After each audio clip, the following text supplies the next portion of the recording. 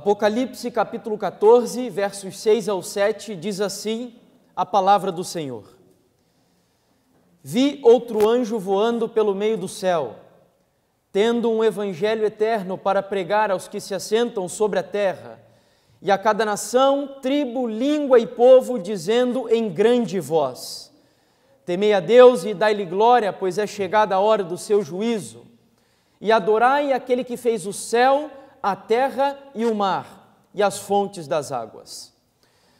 Ontem pela manhã e à tarde, como eu disse, nós iniciamos uma pequena programação cujo título é Os Imperativos de Deus.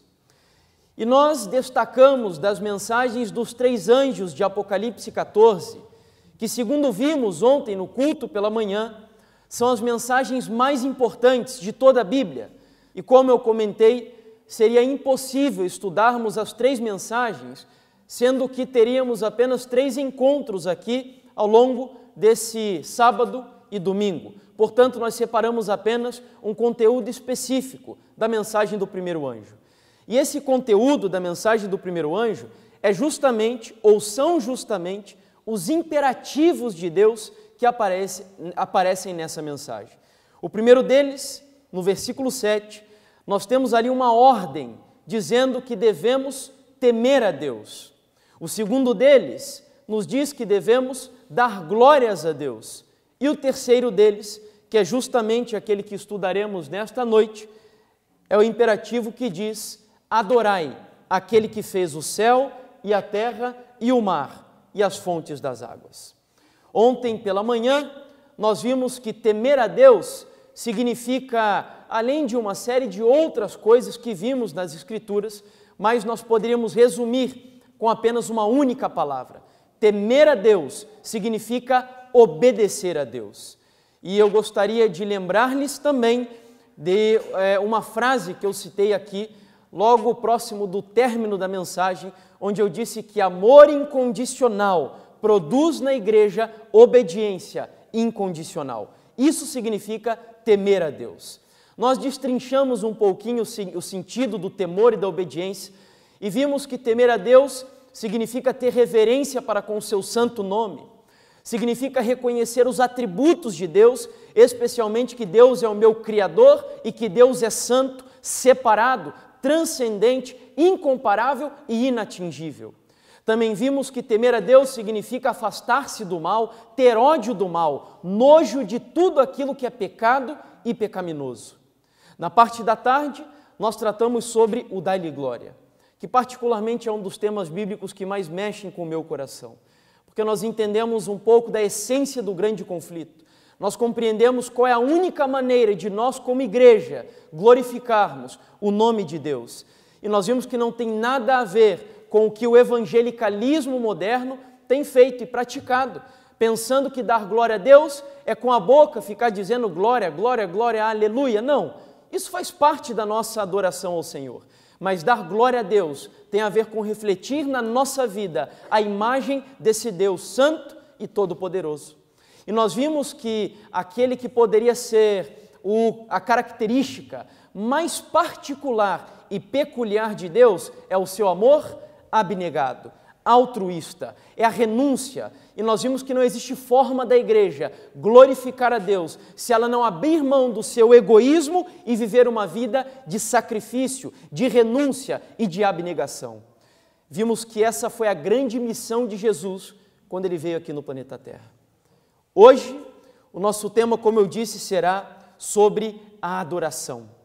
E esse é o terceiro e último imperativo de Deus na mensagem do primeiro anjo, muito importante, talvez o mais importante de todos eles. Enfim, creio eu, quando lemos Apocalipse 14, verso 7, que é possível inferir ou supor que a mente do profeta de Pátimos, o apóstolo João, que foi aquele que escreveu o livro de Apocalipse, quando ele falou sobre a adoração ou relatou essa palavra ali, é possível é, inferir que a mente dele estivesse direcionada para o quarto mandamento da lei de Deus. E por que eu acredito nisso? Pelo seguinte, quando nós vemos aqui o texto de Êxodo, capítulo 20, versículo 11, eles parecem é, repetir ou antecipar as palavras que João utilizou em Apocalipse 14, verso 7. Esse é o término do quarto mandamento da lei de Deus, dizendo assim: Porque em seis dias fez o Senhor os céus e a terra, o mar e tudo o que neles há, e ao sétimo dia fez o quê? Descansou. E qual é o sétimo dia da semana? O sábado do Senhor. Portanto, eu acredito que quando João, ao relatar em Apocalipse 14, verso 7, falando que devemos adorar a Deus, eu creio que João estava com a sua mente direcionada para o quarto mandamento, porque ele disse: Adorai aquele que fez o céu, a terra, o mar e as fontes das águas, quase que repetindo as mesmas palavras que nós vemos aqui. Muito embora seja esse o assunto central da mensagem do primeiro anjo, no que diz respeito à adoração, esse não será o nosso tema aqui nessa noite. E sabe por quê? Porque creio eu que se nós não entendermos o conceito de adoração, pouco importa sabermos sobre o sábado e sobre qualquer outro mandamento e sobre tudo o que a Bíblia tem a nos dizer de escatologia: besta, marca da besta, imagem da besta, chifres e etc.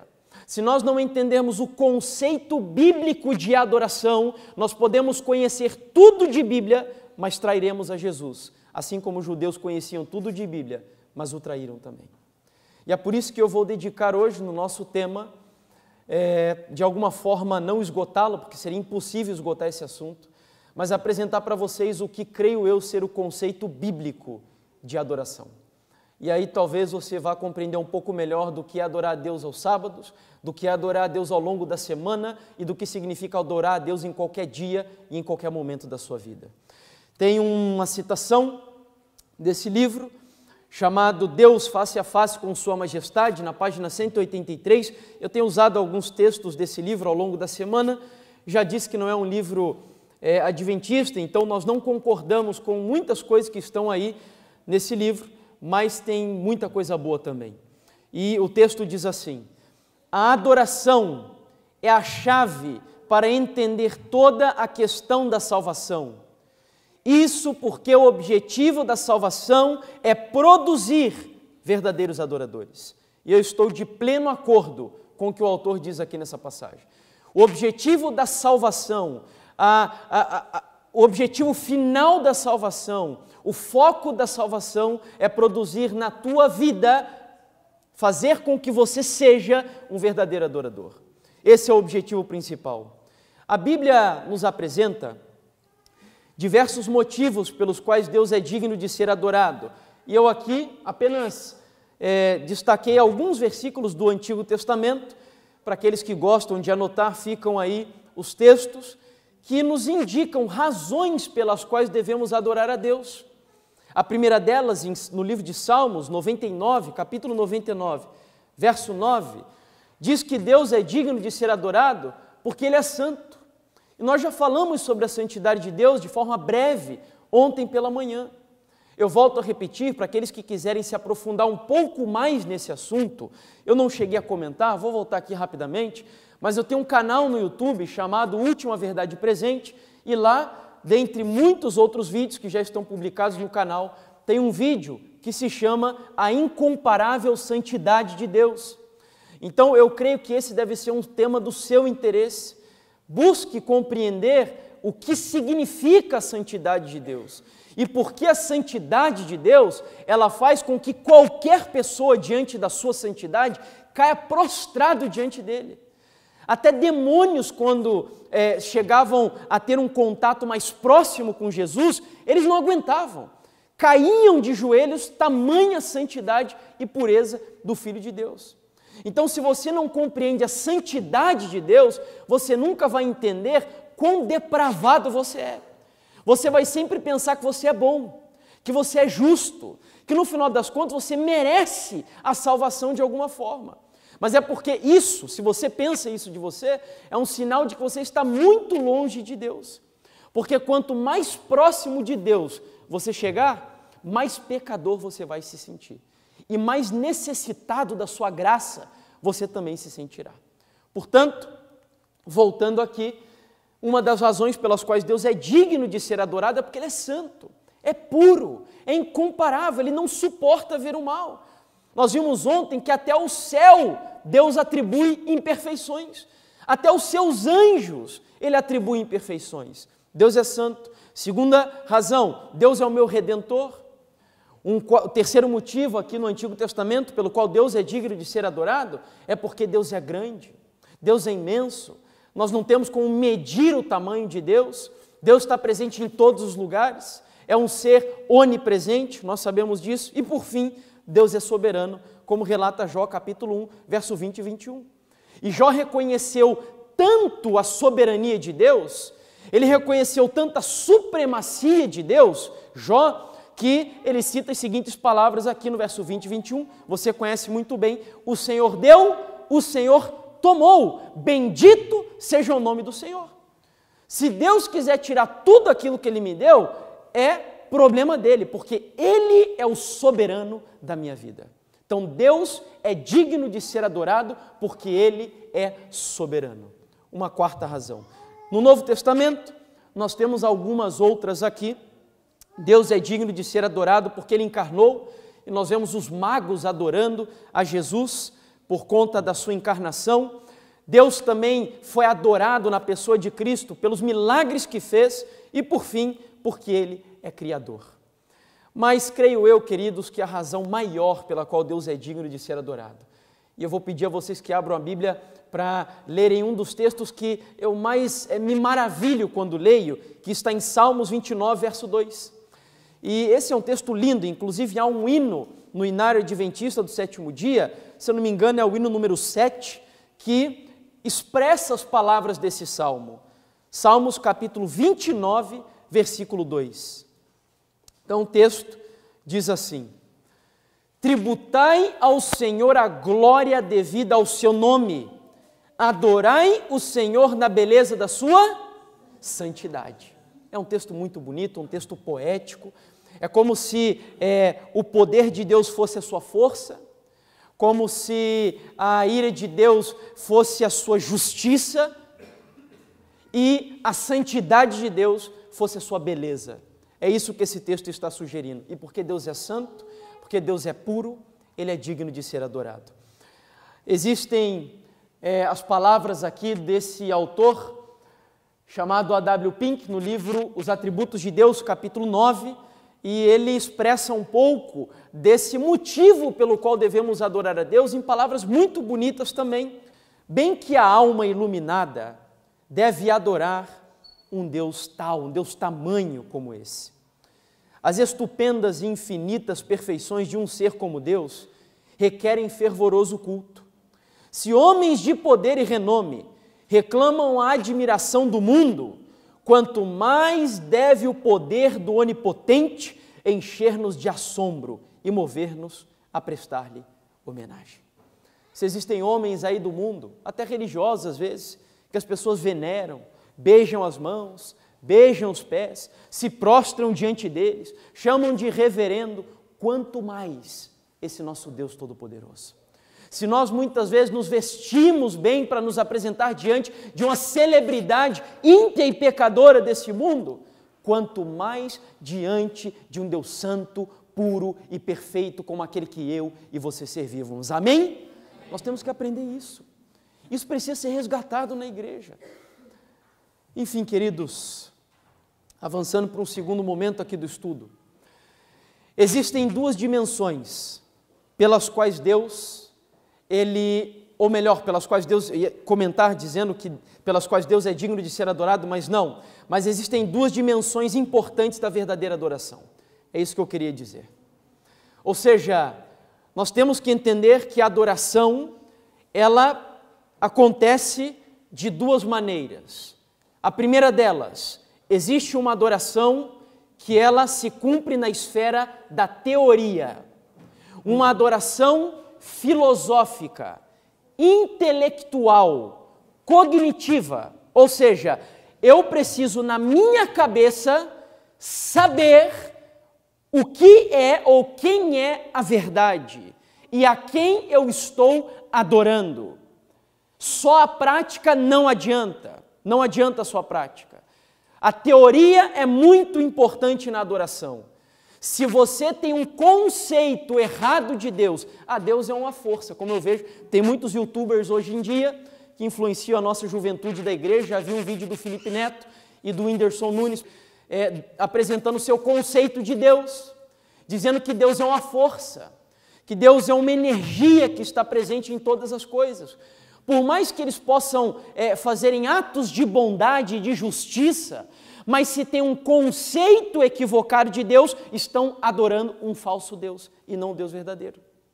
Então existe uma dimensão teórica e filosófica da adoração a Deus.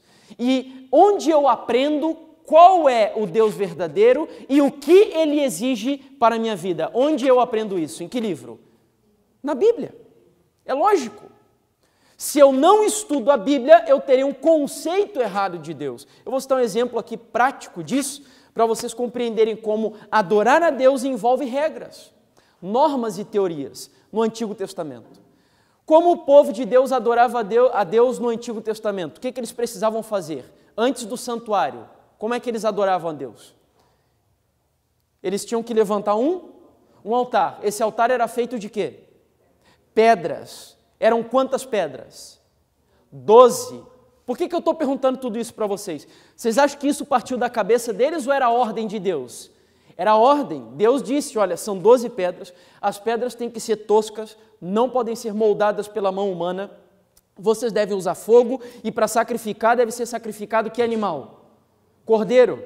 Regras. Quem desobedecesse essa regra, por mais que tivesse boa intenção, estava adorando a Deus? Não estava adorando a Deus. Lembra do exemplo de Caim e Abel? Caim teve boa intenção. Caim estava adorando ou não estava adorando? Estava ou não estava? Estava. Ele erigiu um altar, não erigiu? O altar era de pedras. Era muito parecido com o culto de Abel. O culto de Abel tinha pedra, o culto de Abel tinha altar, mas o culto de Abel tinha o cordeiro e o culto de Caim tinha frutos. Portanto, não era o que Deus havia dito. Teoricamente, o culto de Abel era um culto falso. Filosoficamente, ele estava enganado no que diz respeito ao Deus que ele estava adorando. Depois, quando Deus manda construir o santuário, novas regras são determinadas agora. O incenso, eles usavam incenso no santuário. Não podia ser qualquer incenso, era um incenso específico. Aí um dia Nadab e Abiú foi adorar a Deus no santuário. Pegaram o incenso que Deus havia ordenado, certinho como Deus havia dito. Só que tinha uma outra regra para a adoração. O fogo deveria ser o fogo lá do altar de holocausto. Eles não podiam acender um fogo qualquer. Aí Nadab e Abiú, bêbados, acende um fogo qualquer, vão com um fogo estranho queimar o incenso perante o Senhor. Sabe o que aconteceu com eles no momento que eles estavam queimando o incenso? Foram fulminados pela presença de Deus. Porque, teoricamente, eles estavam adorando a Deus de maneira equivocada. Equivocada. Então nós temos primeiro uma dimensão teórica da adoração. Conheça a Deus. Se você está nos visitando aqui na igreja nessa noite, pelo amor de Deus, para o bem da sua salvação, para o bem da sua vida, para o bem da sua vida eterna, estude a Bíblia, conheça a Deus. Nós estamos vivendo em uma época de, de explosão de apostasia do cristianismo.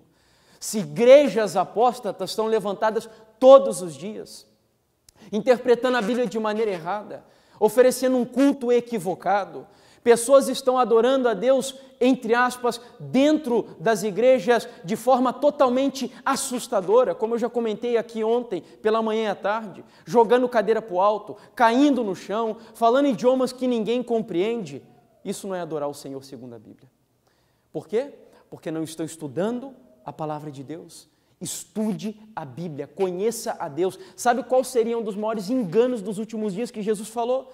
Muitos virão em meu nome, dizendo: Eu sou o Cristo, e enganarão a muitos. Portanto, tenha cuidado, conheça Deus. Primeira dimensão da adoração, portanto, dimensão teórica. A segunda delas, a prática. Se fica só na teoria, não funciona também. Você tem que conhecer a Deus, mas agora você precisa experimentar a Deus. E é por isso que eu acredito que os escritores, principalmente do Novo Testamento, quando falavam de adoração, eles escolheram uma palavra do grego, que é a palavra proskunel. E proskunel significa literalmente beijar ou reverenciar alguém que está na tua frente. Inclusive o texto de Apocalipse 14 que nós lemos, quando diz adorar aquele que fez, João escolheu a palavra proscunel. O que que João estava querendo dizer? Que a adoração tem uma dimensão prática. Reverencie, adore, se prostre, pratique. Adoração envolve comportamento. Aqui estão os textos. Se você quiser também depois analisar com mais calma na sua Bíblia, são alguns textos que eu separei do Antigo e do Novo Testamento que mostram que adoração envolve comportamento. Tem pessoas que se limitam ao campo da teoria, conhecem tudo de Bíblia, sabem versículos bíblicos de cor, mas a vida é um desastre, é uma desgraça. Não tem nada de Jesus Cristo na vida dessas pessoas. Vem na frente da igreja, prega um sermão lindo, maravilhoso, bonito. Irmãos, não pense que o que eu estou fazendo aqui é a coisa mais nobre que um cristão pode fazer. Eu digo para você, pregar no púlpito da igreja é a coisa mais fácil que um cristão pode fazer. Mais fácil. Tem técnicas de pregação. Você pode, se você estuda, se prepara, é muito fácil pregar. Agora, o verdadeiro cristianismo, você quer saber se uma pessoa é cristã de verdade? Não busque ver a oratória dele. Olhe para a vida e para a família dele. É ali que você vai ver se o cristianismo está sendo praticado de verdade. Se Deus está sendo adorado verdadeiramente. É a dimensão prática da adoração. Adoração, portanto, envolve comportamento, atitudes. Tudo isso expressa para as pessoas a minha adoração. Presta atenção aqui agora. Eu não adoro apenas pelo que eu conheço mas também pelo que eu sou. Não apenas com os lábios ou com a mente, mas principalmente eu adoro a Deus com a minha vida. Entenda isso. Adoração, adoração, ela não é apenas uma mudança de credo. E principalmente para você que é adventista do sétimo dia, entenda isso, meu irmão adventista. Entenda isso que eu vou dizer para você. Adventista do sétimo dia não significa apenas uma mudança de credo. Ser um adventista do sétimo dia significa uma mudança no estilo de vida. Lembre-se das palavras de Deus. Esse povo honra-me com os seus lábios, mas o seu coração está longe de mim. O que, que ele estava querendo dizer? Aquele povo, os fariseus, tinham uma adoração teórica, que é importante, mas ela não para por aí. Ela precisa se estender para a dimensão prática. No livro Deus Face a Face com o Evangelho, na, com a Sua Majestade, na página 184, o texto diz aqui o seguinte: a adoração aceitável é o resultado da salvação. Então, a pessoa que foi salva, ou que é salva, ela vai adorar. Não tem como não adorar. No entanto, a adoração, presta atenção agora, atinge a sua plenitude quando o crente oferece o quê? A si mesmo a Deus adorando com respeito e temor piedoso. Tem como adorar a Deus se eu não temo a Deus?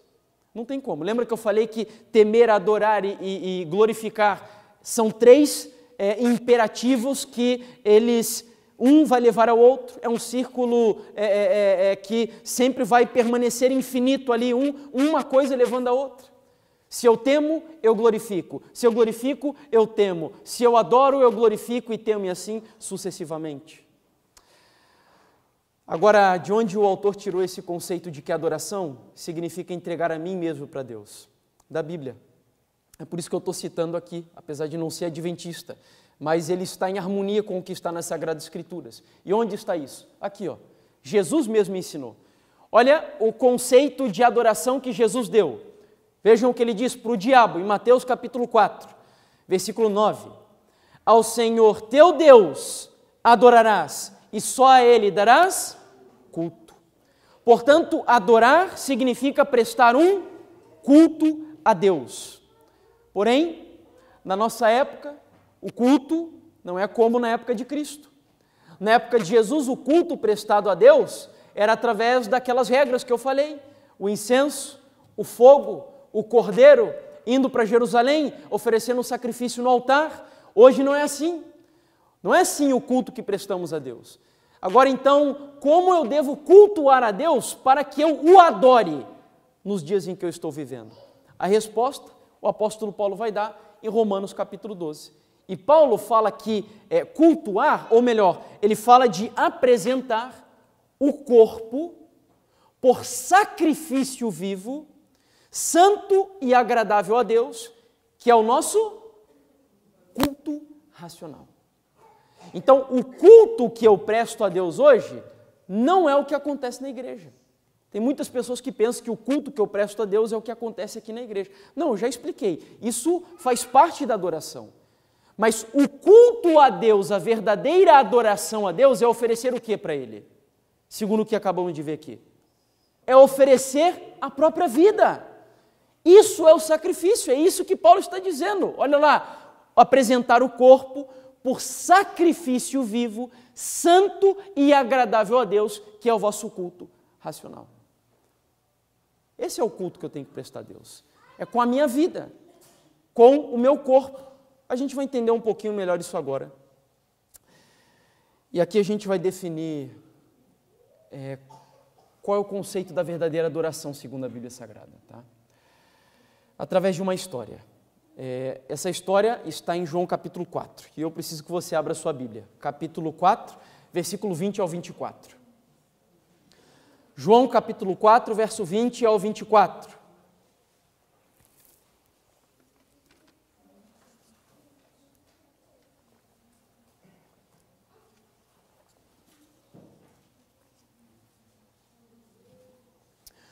Vejamos aqui a lição mais profunda e ao mesmo tempo mais simples que Jesus nos deu da verdadeira adoração. É aqui que vamos aprender o conceito mais importante do que é adorar a Deus. Jesus conversando com a mulher samaritana, ela diz o seguinte no verso 20: Nossos pais adoravam neste monte. Vós, entretanto, dizeis que em Jerusalém é o lugar onde se deve adorar. Disse-lhe Jesus: Mulher, podes crer-me que vem a hora quando nem neste monte, nem em Jerusalém adorareis o Pai. Vós adorais o que não conheceis, nós adoramos o que conhecemos, porque a salvação vem dos judeus. Mas vem a hora, e já chegou, em que os verdadeiros adoradores adorarão ao Pai, de que maneira, diz aí o texto? Lembre-se bem dessas palavras. Porque são estes que o Pai procura para seus adoradores. Deus é espírito. Isso é tão importante que Jesus vai repetir duas vezes. Importa que os seus adoradores o adorem como de novo? Em espírito e em verdade. Quando Jesus repete algo, é porque isso é muito importante. Ele quer que a gente aprenda o que ele está falando. Então, em primeiro lugar, para você entender o contexto aqui, os samaritanos, que era o grupo social daquela mulher que estava ali, eram uma raça mestiça resultado de um casamento entre dez tribos de Israel, dos filhos de Jacó, que sobraram depois, antes do cativeiro, e os assírios, que eram um povo pagão. Então, os assírios se misturaram com o povo de Deus e eles deram origem a um grupo que ficou conhecido como samaritanos. Os samaritanos, portanto, era um grupo que tinham parte da adoração a Deus, eles usavam os cinco primeiros livros da Bíblia, o Pentateuco, e não mais nenhum livro mais, e parte do culto pagão dos assírios. Eles eram os samaritanos. Quando os judeus voltaram do cativeiro babilônico, 70 anos, passaram em Babilônia e voltaram para Jerusalém, eles começaram a construir o templo, reconstruir o templo que havia sido destruído. Nesse momento, um grupo de samaritanos chega em Jerusalém e se oferece para ajudar os judeus a restaurar o templo de Jerusalém. Os judeus não aceitaram essa ajuda e os samaritanos então ficaram brabos, indignados com aquilo, de não serem aceitos pelos judeus para reconstruir o templo. E o que, que eles fizeram? Eles então decidiram levantar um templo deles mesmos em um outro monte. O templo do povo de Deus estava em Jerusalém E o templo do povo samaritano foi construído no Monte Gerizim. No momento em que Jesus se assenta no poço de Jacó e ele começa a dialogar com a mulher samaritana, e ela vê que Jesus era um profeta, um homem de Deus, ela então abre o seu coração e questiona Jesus sobre a verdadeira adoração. E ela chega para ele e diz o seguinte: Olha, Jesus, é, a história é a seguinte: os nossos pais, ou seja, os samaritanos, o, os pais das dez tribos de Israel, eles dizem que nós devemos adorar a Deus no Monte Gerizim e não em Jerusalém. Eles dizem que em Jerusalém lá o culto é falso e que a adoração verdadeira acontece aqui no Monte Gerizim. Aí Jesus vai dizer para ela o seguinte: Olha, mulher, presta atenção agora. A hora vem e já chegou em que vocês não vão adorar a Deus nem nesse monte e nem em Jerusalém. Só que antes disso, Jesus deu uma explicação para ela importantíssima. Ele diz assim: ó, vocês adoram o que não conhecem. Nós adoramos o que conhecemos, porque a salvação vem de onde? Disse Jesus. Dos judeus. Sabe o que Jesus estava defendendo ali para a mulher naquele momento? a adoração teórica. Vocês adoram o que não conhecem. Estão adorando a um Deus falso, não é o Deus verdadeiro. Vocês pensam que estão adorando o Deus de Moisés, mas estão adorando um Deus falso, um Deus que vocês criaram com a própria barriga de vocês, com a mente de vocês. Não é o Deus da Bíblia. Então vocês adoram o que não conhecem. A salvação verdadeira, ou a adoração teórica verdadeira, está lá em Jerusalém. Só que tem um detalhe. Vai chegar uma hora, e ela já chegou, disse Jesus, em que nem em Jerusalém e nem no Monte Gerizim você vai adorar a Deus de verdade. Para adorar a Deus de verdade, mulher, você precisa entender uma coisa. Deus está procurando. Meus irmãos, você consegue entender a profundidade disso do que Jesus estava falando? De que Deus estava procurando verdadeiros adoradores. Tem um texto no livro de Ezequiel, se eu não me engano, é o capítulo 30 ou 33, onde Deus diz assim: Eu procurei no meio do meu povo um homem que se colocasse na brecha para tapar um muro, para que eu não viesse destruísse a terra e defendesse o meu povo, mas a nenhum deles eu achei. Eu acredito que talvez essa, essas palavras de Deus hoje é, possivelmente se cumprisse. Deus está procurando no meio de, se eu não me engano, nós somos aqui no Brasil, cerca de 20% da população brasileira aqui hoje é protestante. E mais de 80% com segurança são cristãos, católicos e protestantes. E no meio dessa quantidade enorme de cristãos, Deus está procurando verdadeiros adoradores. Sabe o que esse texto me leva, me leva a concluir? Que a maioria são falsos adoradores. E por que são falsos adoradores? Porque não estão adorando a Deus de que maneira Jesus ensinou que a gente deveria adorá-lo? De que forma? Em espírito e em verdade. A minha pergunta é a seguinte: o que significa adorar a Deus em espírito e em verdade? Esse é o ponto. Adorar a Deus em verdade é fácil, né? Lembra das duas dimensões que eu mencionei? Quais são as duas dimensões da adoração? A primeira é teórica, a segunda é prática. Adorar a Deus em verdade é entender a teoria de Deus. Quem é Deus? O que a Bíblia diz sobre Ele? Como Ele é? O que Ele se agrada? O que Ele não quer que eu faça? Teoria, filosofia, é, é o intelecto. Eu preciso entender Deus, quem é Deus, na minha imanência, no meu mundo aqui, porque Deus é transcendente. Deus habita na luz inacessível, invisível, no mundo imaterial.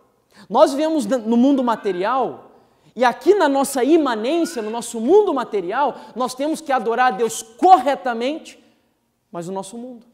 Mas ele disse que é em espírito e em verdade. A questão é a seguinte: como adorar a Deus em espírito? Porque lembra o que Jesus citou? Deus é o que que Jesus disse? Deus é o que? Deus é espírito, ele não falou? Deus é espírito. E porque ele é espírito, importa que o adoremos em espírito e em verdade. O que, que Jesus quis dizer com a expressão Deus é espírito? Deus é um ser espiritual. Deus é santo. Deus é eterno, imortal, inatingível. Tudo aquilo que eu já mencionei várias vezes aqui para vocês. Então Deus precisa ser adorado dessa maneira, gigante, imensa, sublime, majestosa. A questão é a seguinte: eu sou um pecador, depravado, um, pe... um ímpio, e esses somos nós.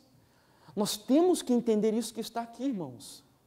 Romanos capítulo 3, eu citei já durante esses dias, diz que nós estamos destituídos da glória de Deus. Quem se lembra de ontem? O que significa a glória de Deus que nós vimos aqui ontem? Lembra? O que é a glória de Deus? É o seu caráter, mas ele poderia, o caráter dele poderia ser definido com apenas um, um único termo, uma única expressão. Qual foi? Alguém falou aqui. O amor abnegado. Então, se nós estamos destituídos do amor abnegado, significa que somos o quê? Qual é o contrário do amor abnegado? Lembra do grande conflito? Egoísmo. Nós somos egoístas. Como que seres egoístas vão adorar a Deus de forma abnegada, renunciando à sua vontade da maneira como ele é digno? Como que seres cujo coração, segundo o que diz Jesus, é cheio de prostituição, furto, homicídios, adultérios, avareza, malícia, dolo, lascívia, inveja, como adoraremos a Deus da maneira como ele é digno de ser adorado? Como que seres, como diz a Bíblia, Efésios 2, versículo 3, que por natureza são filhos do quê? Da ira. Da, nós, nós nascemos como filhos da ira. Quando você dá o teu primeiro choro, você já nasce condenado, condenado ao lago de fogo. É isso que a Bíblia está dizendo. Esse sou eu e você. Como adorar a Deus em espírito, então? Olha só, irmãos. Olha só o que diz Ellen White no livro O Desejar de Todas as Nações, capítulo 17. A hora vem, disse, e agora é, em que os verdadeiros adoradores, ela está citando o texto que acabamos de ler, adorarão o Pai em espírito e em verdade, porque o Pai procura a tais que assim o adorem. Deus é espírito e importa que os que o adoram, adorem em espírito e em verdade. Ela vai explicar agora o que é isso. Ela vai dizer assim: aí se declara a mesma verdade que Jesus expusera a Nicodemos, quando disse: dois pontos, agora ela vai explicar. Aquele que não nascer de novo, de cima, diz outra versão, não pode ver o reino de Deus. Aí um pouquinho mais adiante, ela vai explicar ainda mais claramente. Olha que, que, que fantástico que diz o texto. Para o servirmos devidamente, da maneira correta, é necessário nascermos do Divino Espírito. Esse é o verdadeiro culto.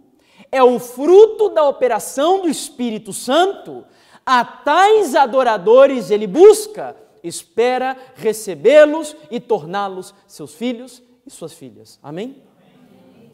Sabe o que significa adorar a Deus no Espírito? Em curtas palavras,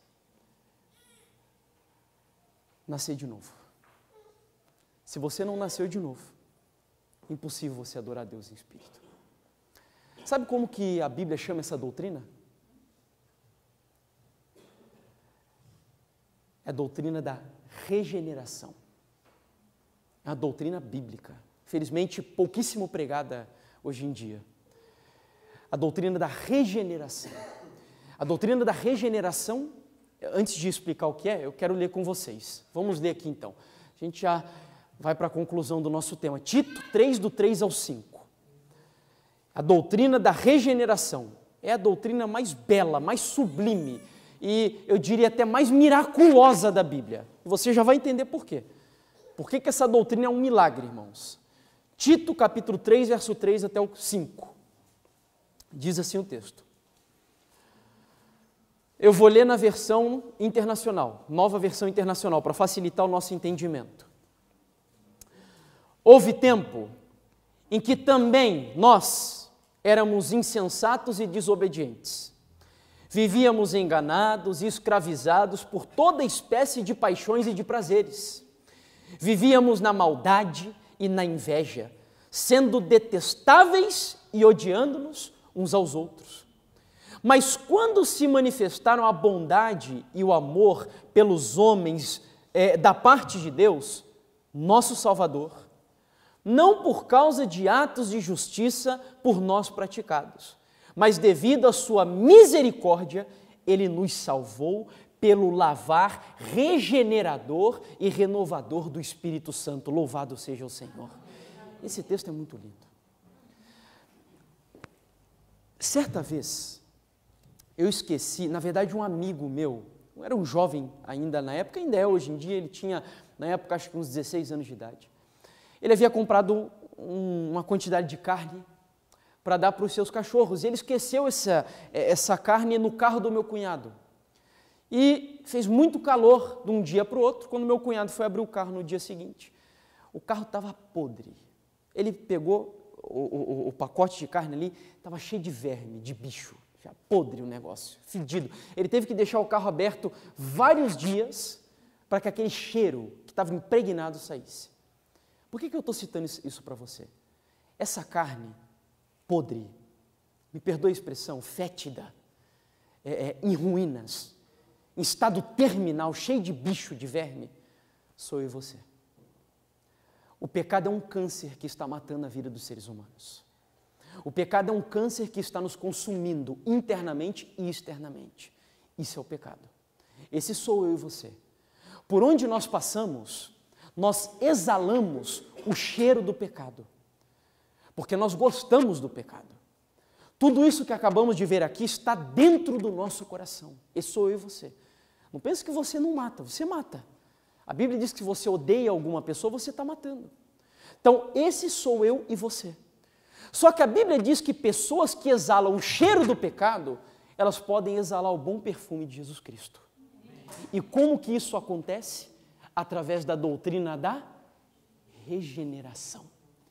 Deus pega essa carne podre, essa carne cheia de verme, pecadora, que sou eu e você, e Ele vai transformar a tua carne agora e você vai voltar a ser pouco a pouco a imagem e semelhança de Deus. Amém? Isso só é possível através do novo nascimento. E é assim que Deus é adorado, irmãos. Quando a Bíblia diz que eu tenho que adorar Deus em espírito e em verdade, é dessa maneira. Eu nasço de novo. Ah, eu tenho vícios. Eu gosto de bebida. Eu gosto de assistir coisas que não agradam a Deus. Eu gosto de ler coisas que não agradam a Deus. Eu não consigo me libertar dessas coisas. Ah, eu tenho dificuldades, eu tenho um caráter muito orgulhoso. Irmão, escreva o que eu estou te dizendo. Ontem nós já falamos sobre a glória de Deus. Se você decidir gastar tempo na presença de Deus, essa glória vai invadir a tua vida, o Espírito Santo vai penetrar dentro das tuas veias, vai começar a mexer no teu DNA e você vai ser transformado para a honra e glória de Deus regeneração. É, vai dizer que isso não é um milagre? É a coisa mais milagrosa que existe. É mais fácil fazer um paralítico andar do que fazer isso que eu estou dizendo para vocês. Mais fácil. É mais fácil Deus chegar e dizer assim: haja luz, puf, e houve luz. Por quê? Porque Deus do nada criou o mundo. Só que agora nós, seres humanos, caímos, corruptos, ele tem que pegar essa massa podre e torná-la boa. Então é muito mais difícil. Mas Jesus diz assim: os impossíveis para o homem é possível para Deus. Ele só precisa que você deixe, que você autorize que isso aconteça. Olha só, Pedro também fala dessa doutrina. O apóstolo Pedro fala sobre ela também. Pois fostes regenerados não de semente corruptível, mas de incorruptível, mediante a palavra de Deus, ao qual vive e é permanente. Permanente. A palavra. É estudando a Bíblia, é orando, é se envolvendo com o trabalho missionário da igreja, é se sacrificando, se doando. Deus vai regenerar você, vai transformar você. Irmãos, eu concluo é, trazendo aqui para vocês uma história, a sua memória, eu creio que a maioria conhece e então, nós vamos concluir citando apenas uma passagem aqui que também creio que é do conhecimento de vocês. Vocês se lembram da parábola das dez virgens? Lembram bem dessa parábola? Um grupo de virgens que saíram para se encontrar com o noivo, estavam esperando o noivo para o casamento. O noivo é Jesus. As virgens é um símbolo da igreja. Aí a história nos conta que essas virgens saíram com lâmpadas, não saíram?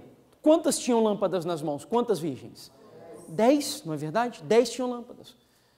Quantas delas estavam é, indo atrás do noivo? Quantas? Todas elas. Todas. Quantas delas tinham azeite na vasilha? Agora, agora eu dividi a igreja, né? Dividir a igreja é sempre um problema. Tem certeza que só cinco. Olha, eu vou mudar a minha pergunta e aí vocês vão é, tirar a conclusão correta. Quantas delas tinham azeite reserva? Cinco. Mas quantas tinham azeite? Todas. Porque senão a lâmpada não ia sair acesa. Então todas elas saíram com as lâmpadas acesas. Isso significa que todas tinham azeite. Só que apenas cinco tinham azeite reserva. Sabe o que essa história me mostra? Na sequência você sabe o que acontece, né? Só aquelas que tinham azeite reserva entraram com Jesus quando ele fechou a porta. O azeite é símbolo do que na Bíblia? Do Espírito Santo. A lâmpada na Bíblia é símbolo do que? Lâmpada para os meus pés e a tua? Lembra, tem até uma música do Daniel Lidick, né? Lâmpada para, né? É a tua palavra. A lâmpada, na experiência das dez virgens, era a adoração. Lembra das duas dimensões? A lâmpada era adoração o quê? Teórica. A lâmpada era adoração teórica. E o azeite, que era o espírito, era adoração o quê? Prática, era regeneração, era o novo nascimento. No final das contas, só entraram com Jesus para as bodas aquelas virgens que, além da teoria da verdade, tinham também na sua vida a experiência prática da verdade, através do novo nascimento, da regeneração. Você se lembra de 2 Coríntios capítulo 5, verso 17, um texto muito bonito, que diz assim: aquele que está em Cristo, nova criatura é. Todas as coisas se passaram, as coisas antigas se passaram, e eis que tudo se fez novo, tudo novo, irmãos você passa a ter prazer em coisas novas. Você passa a ter alegria na oração. Você troca, você troca uma boa conversa fora com os mundanos para passar uma boa conversa dentro em oração com o nosso Deus. Você passa a ter alegria nisso. Deus te muda radicalmente. Você deixa de assistir filmes de Hollywood e passa a ter prazer agora lendo a Bíblia Sagrada. Você perde todo o prazer de jogar videogame e passa a se alegrar estudando as profecias da palavra de Deus. Novo nascimento. Isso não acontece do dia para a noite. Isso é uma experiência progressiva. Deus vai te transformando até que Cristo venha. É de glória em glória, como lemos ontem. Quantos aqui desejam passar por essa experiência de novo nascimento? Levante a sua mão. Deus seja louvado.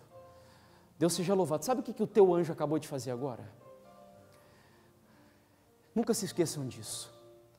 Quando um pregador na igreja ele pede para a igreja reagir a um apelo, é por uma razão apenas, não é capricho do pregador. É porque nesse grande conflito, os anjos não sabem o que está no teu coração. Nem Satanás sabe o que está no teu coração. Quando você toma uma decisão, você precisa tornar essa decisão externa. Você precisa mostrar para o universo celestial o que você escolheu. E no momento que você toma a sua decisão, o teu anjo, ele sai aí do teu lado, ele vai até o céu e registra lá no livro da vida, dizendo assim: olha, essa pessoa que hoje levantou a mão lá na igreja do Jardim Bandeirantes e tomou a decisão dizendo que ele quer ser um nascido no reino dos céus. E aí acontece o seguinte: está escrito lá agora no teu livro da vida, está escrito lá. Deus vai fazer o impossível para que isso aconteça na tua vida, mas você precisa fazer o possível.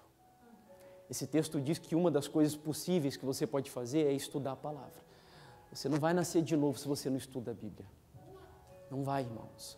Você não vai fazer de novo, se, nascer de novo se você não tem vida de oração. Deus não é um Mr. M. Deus não é um Mr. M. Ele vai te transformando através dos recursos que Ele deixou para te transformar. E eu concluo essa nossa programação nesse final de semana esperando de todo o meu coração que esse versículo, a partir de hoje, ele ganhe um novo significado para a sua vida. Que você, quando lê esse versículo, se lembre dessa programação curta que tivemos desse final de semana, mas entendemos essa mensagem, toda a sua profundidade. Temei a Deus, vamos repetir juntos? Temei a Deus e dai-lhe glória, pois é chegada a hora do seu juízo, e adorai aquele que fez os céus e a terra e o mar e as fontes das águas. Que em nome de Jesus o Senhor nos ajude a temê-lo, a glorificá-lo e a adorá-lo como ele é digno até que o nosso Senhor Jesus Cristo venha. Amém? Que Deus te abençoe nessa jornada rumo ao céu.